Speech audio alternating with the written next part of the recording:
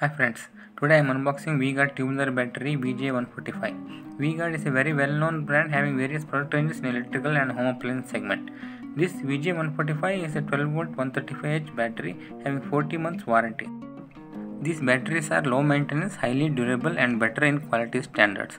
High pressure tested, rugged construction of plates ensure longer life and endurance. Least gas generation, excellent performance and suitable for deep discharge cyclic applications.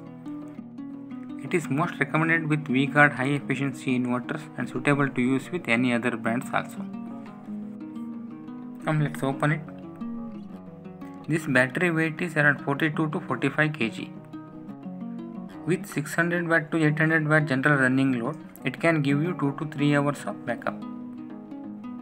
Tubular batteries typically run up to 750 life cycles. It means it can last up to 5 to 6 years. So here comes the VJ145 with a rugged design.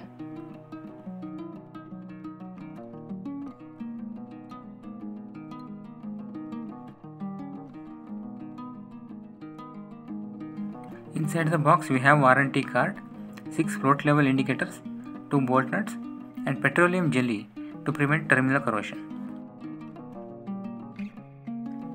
Battery terminals are covered with small plastic caps to avoid short circuit during transportation. The battery terminals are marked plus and minus. Plus is positive, minus is negative. Generally, all battery come with transport cap which need to be removed and float indicators to be fixed. Here we can see the float level indicator. It is showing liquid level is full. Now let us see how it works. It is just a floating indicator which is floating over the acid inside the battery. Here it is an empty glass, indicator head is at the bottom. As we fill up the glass with liquid, float head is coming up and now it is full. Whenever this indicator level goes down, we should fill only distilled water. Should not use normal tap water for batteries. For any inverter battery related enquiries, feel free to contact us. Thank you.